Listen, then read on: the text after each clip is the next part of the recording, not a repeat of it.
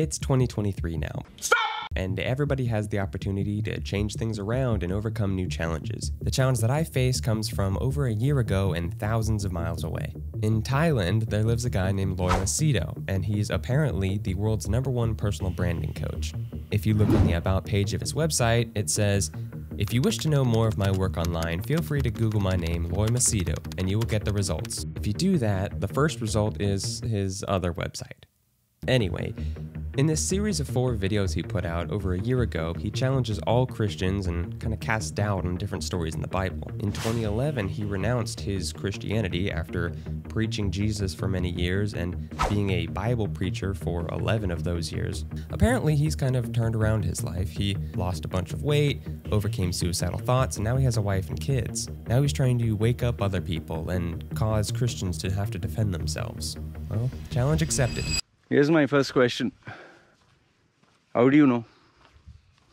How do you know there is a God? Who was there to witness He made light? Who was there? An angel? Angel taking down notes. Well, the Bible doesn't say anything about an angel being there taking notes and then being able to hand them to a man. Instead, God Himself was there. He was the one that did it, and He told Moses all about it. Then Moses wrote it down, and that's how we have it. Whether or not you believe Moses is a whole different question, but that's how we got the account.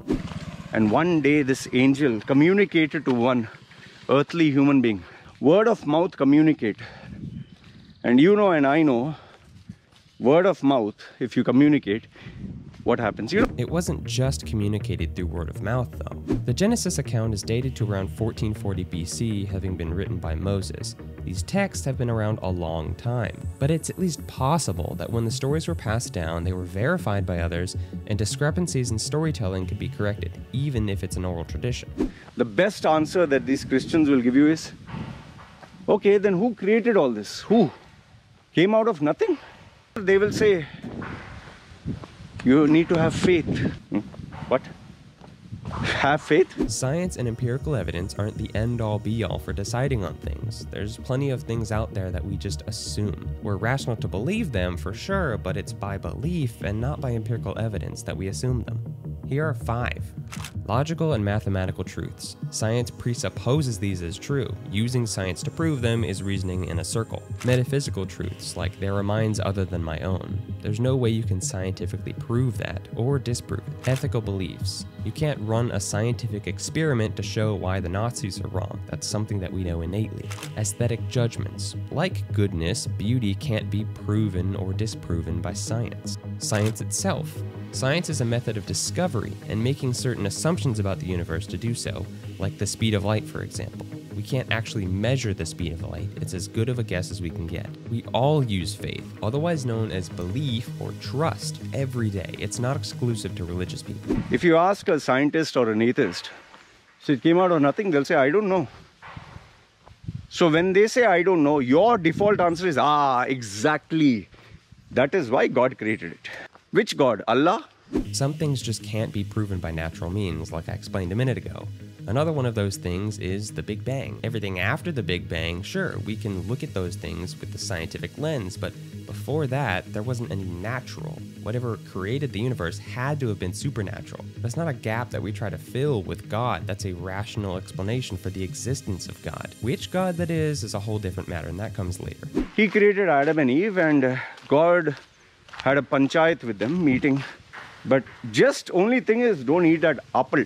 And by the way it was no ordinary apple it was the fruit of good and evil if you create someone like god did and you give them the ability to make choices like god did and then you take away one of those choices, you're forcing them into one path and not the other. Like you wouldn't force your child to love you. You can't force love. You have to give your child the option to choose something else, and if they choose you, you know the love is real. God had to give them the ability to choose the forbidden fruit so that if they were to reject it, he would know it's genuine.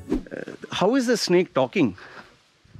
Was it sign language? If you actually see later on, God curses the snake and says, You will you know, crawl on your belly. Genesis talks about God making the universe and making the earth and making man out of dust, but you're hung up on a talking snake?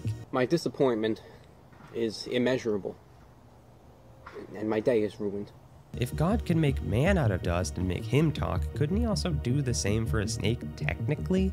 Adam and Eve, they ate the apple. Now, a God who is all powerful, all knowing, there is nothing that happens which he doesn't know. So he didn't know this? Let's say you've got a kid.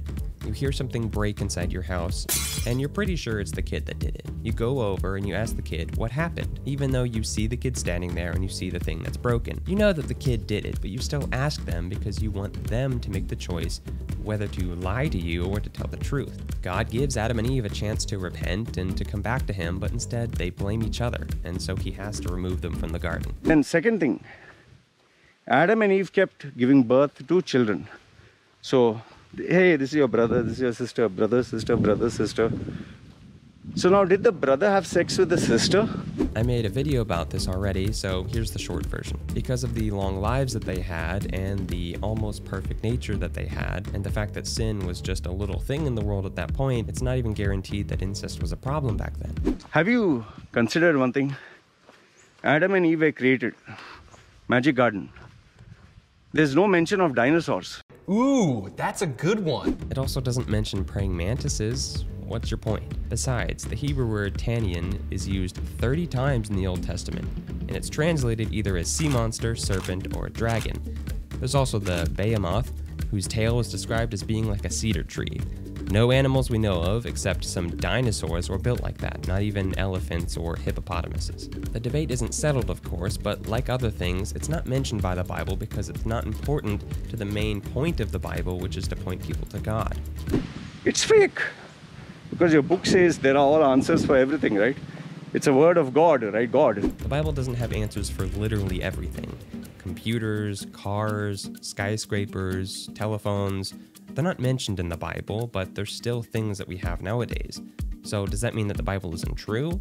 Well, no. Again, they're just not important to the overall story of the Bible. That's about it. Stay tuned for parts 2, 3, and 4. See you next time.